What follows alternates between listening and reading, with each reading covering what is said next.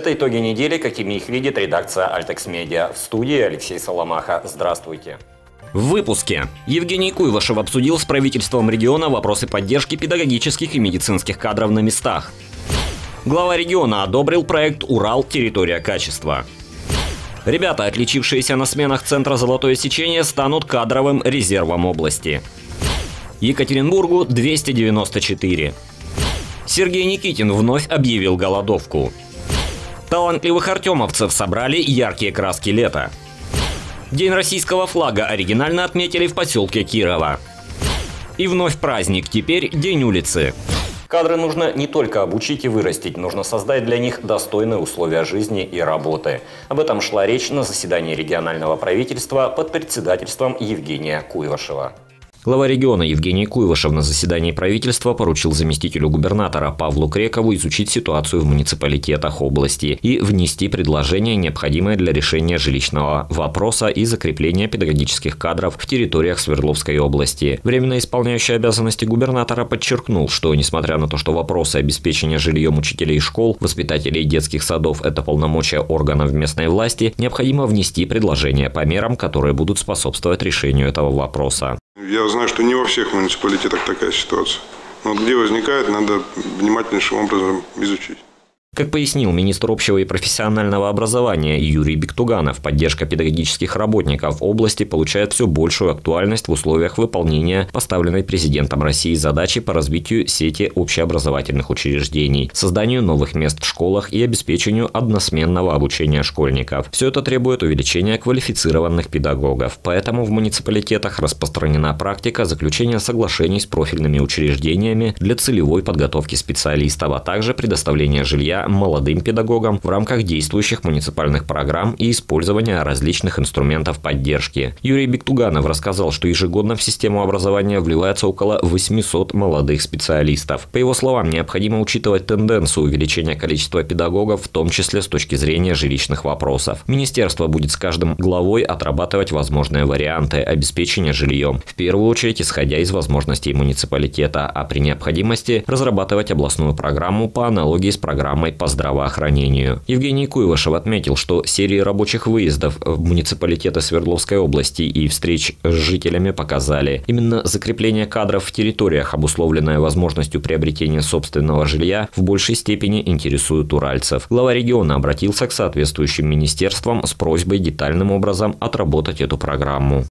Меня интересуют сроки предоставления значит, э, жилья, э, жилья и, конечно же, э, сроки перехода права, права собственности, в каком виде и как. Я прошу не откладывать это в долгий ящик. Программа начнет работать с 1 января 2018 года. Напомним также, что в ходе изучения опыта УГМК холдинга в Красноуральске по жилищным программам для сотрудников предприятий компании глава региона договорился с генеральным директором Андреем Казицыным об участии бизнеса в программе обеспечения жильем медработников. Строящийся коттеджный поселок «Молодежный» в Красноуральске планируется расширить с учетом потребностей реализации этой программы. Вряд ли найдутся люди, которые ни разу не сталкивались с фальсификатом. Бороться с недобросовестными производителями можно разными способами. Один из них главе региона предложили члены Ассоциации сельхозпроизводителей и потребителей при Уральской торгово-промышленной палате.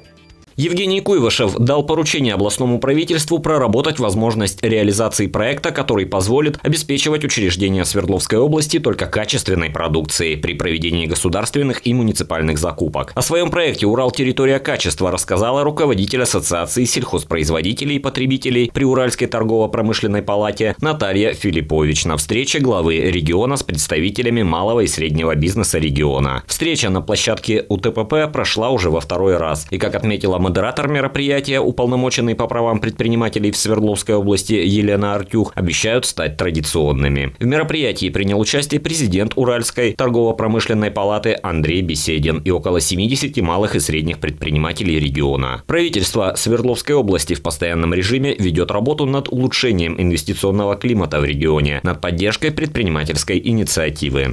За 2016 год в целом по Свердловской области в реальном денежном э, исполнении оказана была поддержка и помощь малому и среднему бизнесу в объеме 3 миллиарда 600 миллионов рублей.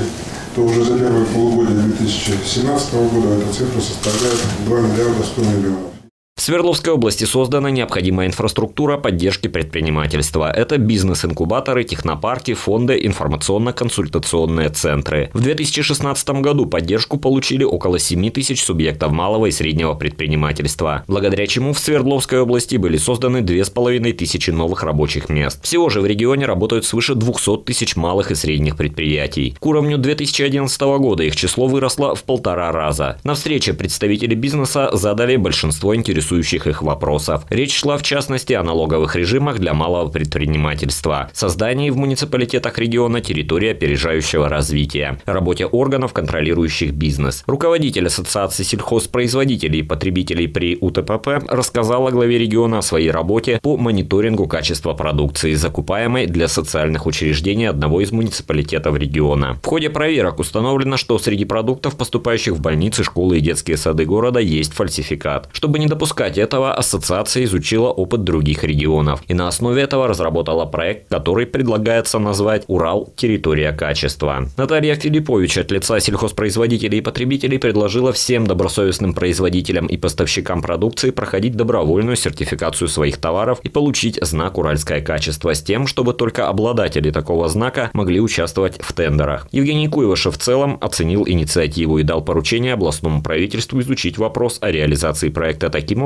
чтобы не возникало противоречий с федеральным и региональным законодательством. Среди обратившихся к главе Свердловской области предпринимателей также директор ООО «Чедолиния» Юлия Лопаницына. Компания производит детскую одежду, школьную форму и работает на рынке уже несколько лет. При этом в качестве материала Чедолиния использует ткани Свердловского комвольного комбината. В 2016 году компания получила грант для начинающих предпринимателей от областного фонда поддержки предпринимательства. Руководитель предприятия спросила у главы региона об инструментах инструментах поиска инвесторов для того, чтобы наладить розничные продажи своей продукции. Евгений Куевышев рассказал о существующих путях развития предприятия и поручил областным органам власти продолжать взаимодействие с компанией. По словам главы региона, именно бизнес, который строится на сотрудничестве местных предприятий, отвечает за задачи по импортозамещению, поставленной руководством страны.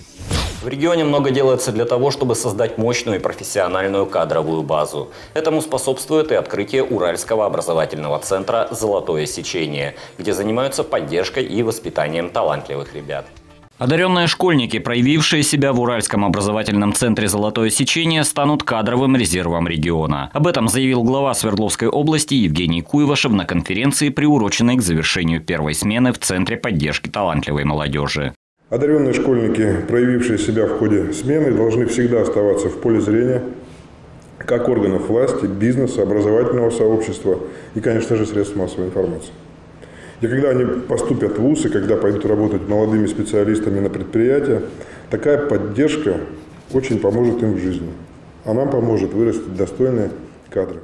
Евгений Куйвашев назвал хорошим знаком то, что представители промышленных корпораций Среднего Урала уже встречались с детьми, выступали экспертами даже на промежуточных этапах подготовки проектов. По мнению главы региона, это показатель того, что руководители ведущих предприятий заинтересованы в притоке талантливой молодежи. Евгений Куйвашев считает необходимым увеличить число региональных конкурсов по научно-технологическим разработкам и проводить их совместно с промышленниками под их повестку и заказ. Он подчеркнул, что это будет выгодно для всех предложений предложение, учитывающее потребности всех сторон. Эту позицию поддержала Елена Шмелева, руководитель фонда «Талант и успех», который является учредителем «Сириуса». Совершенствованию работы с талантливой молодежью на Среднем Урале будет способствовать создание для золотого сечения собственной базы. По словам Евгения Куйвашева, она расположится близ технопарка «Университетский». Организационная работа уже завершена. В последний день работы золотого сечения Евгений Куйвашева и Елена Шмелева ознакомились с итоговыми проектами школьников, которые были созданы созданы в ходе смены. Так глава региона померил температуру с помощью разработки участников смены Health Bracelet. Кроме того, школьники продемонстрировали созданный ими модуль для очков CI.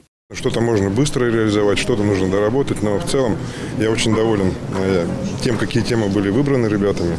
Это очень жизненно и восхищает то, что в таком молодом возрасте люди задумываются о решении э, проблем, которые даже взрослые не задумываются. Поэтому я очень рад и уверен, что большинство разработок обязательно найдет свое место в жизни. Обязательно наше министерство профильное свяжутся с проектировщиками, конструкторами, мы посмотрим, что можем реализовать.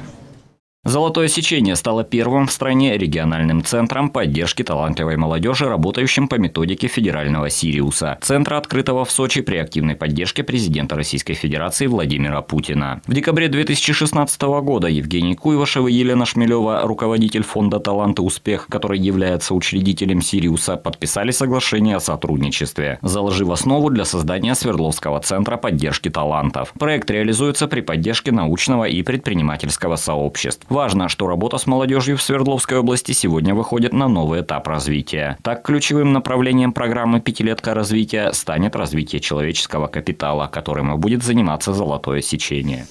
В конце прошлой недели в Екатеринбурге состоялся День города, и множество артемовцев стали участниками праздничных мероприятий. Свердловчан с 294-й годовщиной столицы региона поздравил его глава Евгений Куйвашев.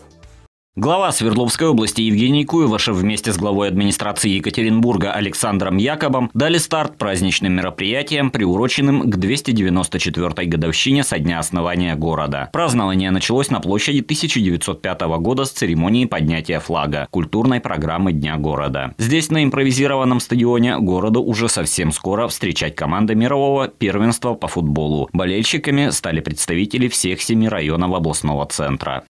Наш город дерзкий и амбициозный. Именно мы готовимся к ноябрю матча чемпионата мира по футболу. Именно здесь проходит главная промышленная выставка нашей страны на форуме. Екатеринбург наравне с другими столицами государств пользуется за право ведения Всемирной универсальной выставки В то же время город Екатеринбург теплый и гостеприимный. Он является местом притяжения умных, дерзких, талантливых людей, которые приносят в наш город новые идеи и новое развитие. Именно наш город славится своими ветеранами, которые достойным образом обучают и наставляют нашу молодежь.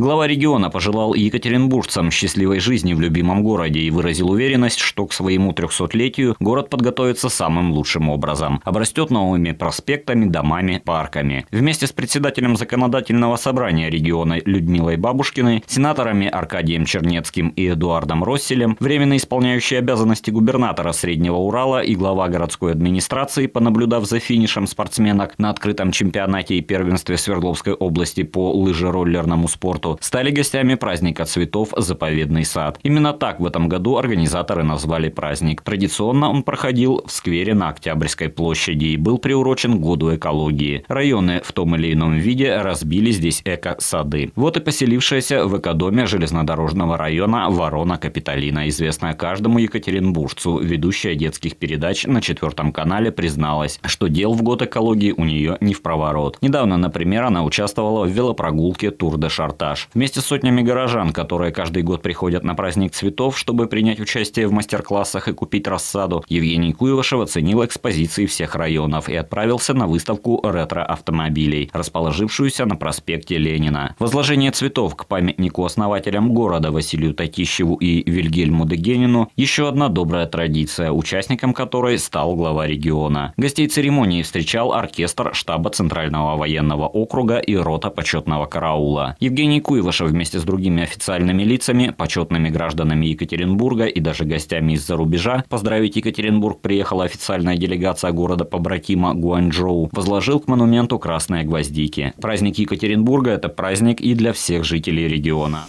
К местным новостям кто-то из артемовцев назовет этого человека неугомонным, а кто-то упорным. Сергей Никитин вновь начал голодовку, в связи с чем в нашем материале. День флага Российской Федерации – истинный патриот своей родины. Активист, пенсионер города Артемовского Сергей Никитин отметил, начав очередную бессрочную голодовку. Кстати, уже пятую по счету в 2017 году. Главной причиной голодовки пенсионер называет безразличие чиновников муниципальной власти, и в том числе Восточного управленческого округа. Уже второй день провожу бессрочную голодовку, уже пятую, на 2017 году с требованием, прежде всего, не позорить и флага Российской Федерации, и флага Победы, и памяти наших солдат-победителей, что защищали нас и спасли Великую Отечественную войну.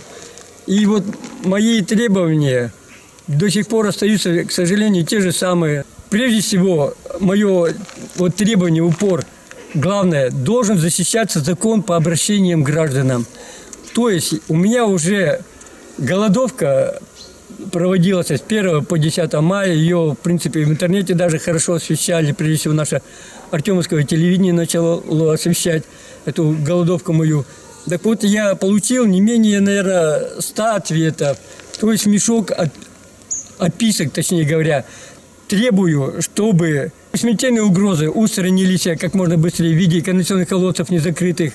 Потому что вот с, с конца июля у меня вот это лежит даже от начальника Восточного округа Глебца отписка, что у нас все люки задраены, у нас по-прежнему питьевые колодцы запрошены.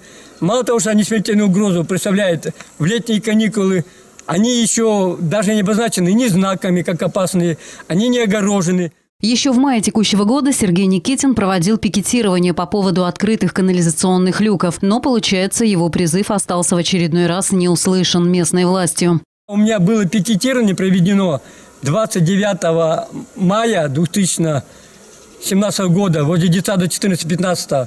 До сих пор там только дощатая крышка надпись сколоченная. Их таких сотни в Артемском районе канализационных бесхозных колодцев. И тогда был ответ самочерного, одного самочерного только, правда, что ООО все задраили, бесхозных нету ни колодцев, ни питьевых колодцев. У нас вообще, он утверждает, нету вопросов, по которым не приняты меры. А на деле у нас просто ничего не выполняется, а делается одними обещаниями. Бесхозные канализационные и питьевые колодцы, представляющие угрозу для жизни людей. Это не единичный вопрос, волнующий по сей день артемовского пенсионера. Напомним, главным требованием Сергея Никитина в объявленную им майскую голодовку было наведение чистоты и порядка на городском кладбище. Ведь остро стоящие проблемы, решение которых, по сути, остается за органом местного самоуправления, так никто и не решил. Все помнят ту генеральную уборку на кладбище, где на славу потрудились и молодежь, и ветераны. Видимо, тогда вместо вместо обещанных больших контейнеров в этом районе установились всего лишь бак возле пруда. С мая по июль. Почему его поставили возле берега, во-первых, вот этого пруда, там все это просто замучено. Это надо заставить, прежде всего, самочерного, как главу администрации, чтобы он вычистил вот этот пруд. Потому что все дерьмо, контейнеры часа не это подтвердит любой житель Песчанки на кладбище приходили, чистили с запозданиями с большими всегда. Ведь мусор, как говорится, порою просто верхушку сметала вот в этот пруд. А вода бежит в реку Бобровку, где купаются, опять же, жители Артемовского района. По-прежнему в Артемовском остается без внимания местной власти и колодцы, превратившиеся уже в труху. Вот это по ответу кольцу получается, у нас бесхозных колодцев нету, вот видите. Его просто спокойный тут Владимир Семенович заколотил вот этот, это ЖКХ все сделали, колодец. Он зарегистрирован, все. И вот от него что осталось? Вот эти гнилушки, они отпадут сами по себе. Глубина там, конечно, приличная, метров 10. Просто оторвут вот это все, и кто-нибудь туда шлепнет. Сергей Никитин убежден в том, что все плохое, что окружает нас в жизни, происходит по одной причине – не выполняется закон по обращениям граждан. Власти на местах мало того, что бездействуют и пишут отписки, но и стараются не доводить всей информации до вышестоящего руководства. Держат, так сказать, областную власть в неведении. С ответа Н.А. Клевец, управляющий Восточным управленческим округом, от 26 июля я получил, по крайней мере, вот это письмо – все вопросы рассмотрены администрацией Восточного управленческого округа Свердловской области совместно с администрацией муниципального образования Темский городской округ в пределах своих полномочий по поручению еще и правительства Свердловской области. И, в общем, по результатам рассмотрения установлено следующее, что за всеми местами захоронения четкий уход, порядок, и что вопросу, еще раз повторяется, бесхозных конвенционных физических колодцев сообщая, что предприятия ООО «Экология» колодцев закрыты, Подрезка старых высоких деревьев, сообщаю, осуществляется МУП ЖКС согласно заявлению граждан и формируется тоже согласно их заявлению перечень деревьев, подлежащих подрезке. Так что выходит, что у нас, как говорится, у господина Самочерного у Клевцова по народной пословице, а у нас везде квас. Проблемы, о которых не молчит Сергей Никитин, это проблемы муниципалитета. Их решение напрямую зависит от муниципальной власти. Но власть по-прежнему молчит и бездействует. Пишет отписки на обращение граждан. Издает отчеты областному правительству, что в районе все замечательно и вопросов нет. А у Сергея Никитина, борца за правду и справедливость, очередная голодовка. Ведь именно так он считает, можно добиться действий от власти и решения насущных проблем приятному. Хотя лето и подходит к своему завершению, артемовцы не спешат расставаться с ним, его ощущениями и, конечно же, яркими красками. Концертная программа в ярких красках радужного лета, которая состоялась в стенах Дворца культуры «Энергетик», подарила массу невероятных радужных и по-настоящему летних эмоций артемовцам, кто пришел в это учреждение культуры, чтобы поддержать талантливых земляков и насладиться их прекрасным вокалом. Дорогой, любимый украшен ярко зал огнями. Сегодня вы в гостях у нас. Для нас, поверьте, встреча с вами, как светлый праздник в добрый час. Подарим друг другу аплодисменты. Идею фестиваля поддержала бизнес-сообщество, в частности, Уральская торгово-промышленная палата. Инициатива нашла понимание и в правительстве Свердловской области. Ведь народное творчество несет в себе колоссальный позитивный заряд, объединяя людей разных профессий, возраста и социального статуса. Бурные овации звучали и в честь участников концертной программы в ярких красках радужного лета. Ведь каждый артист, выходивший на сцену, был награжден дипломом участника народного фестиваля «Уральские самоцветы». Завершала концерт финальная песня талантливых жителей Артемовского. Все, что в жизни есть у меня,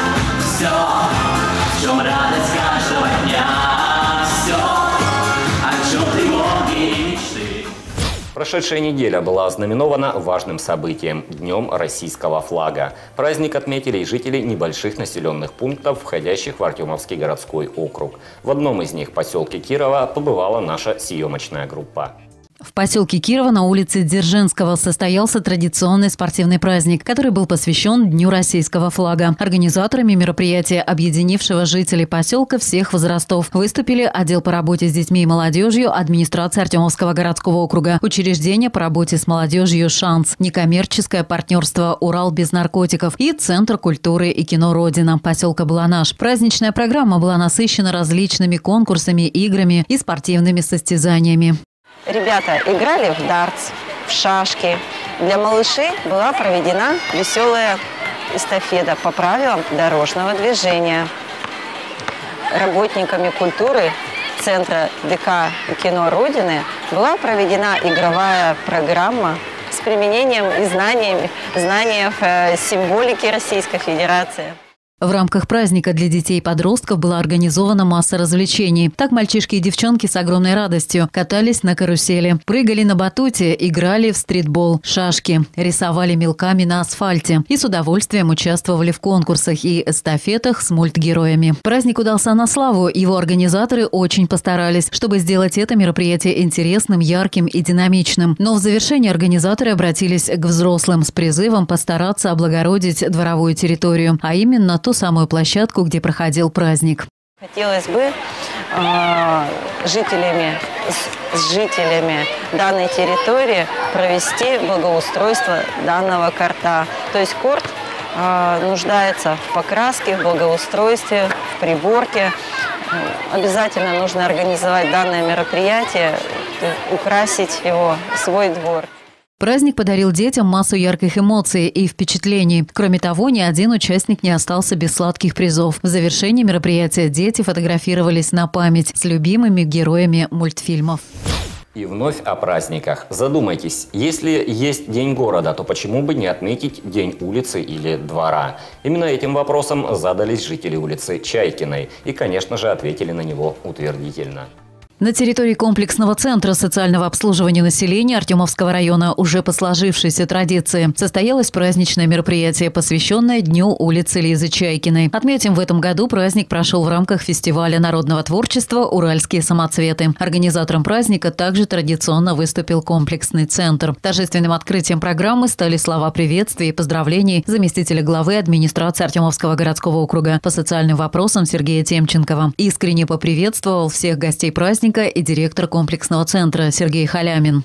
Рады, когда вы у нас бываете, не только на празднике, но это праздник Лизы Чайкина. Это дань памяти подвигу нашего народа в годы Великой Отечественной войны.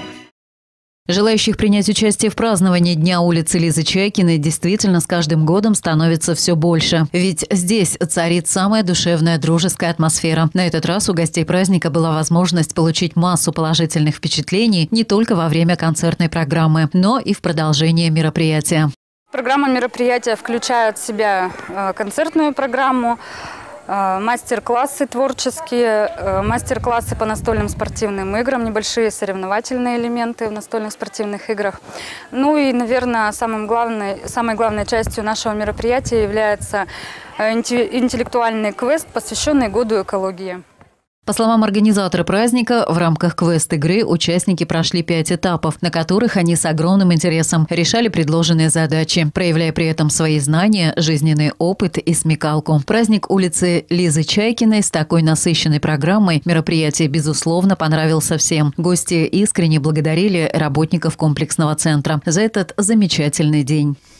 Это были основные темы, которые за эту неделю наша редакция выделила для освещения. Еще больше информации из жизни муниципалитета и региона вы подробнее можете узнать в наших эфирах на канале ТНТ утром с 8 до 8.30 и вечером с 19.00 до 19.30, а также на официальном сайте телерадиокомпании www.altexmedia.ru. В студии был Алексей Соломаха. Всего вам доброго. До свидания.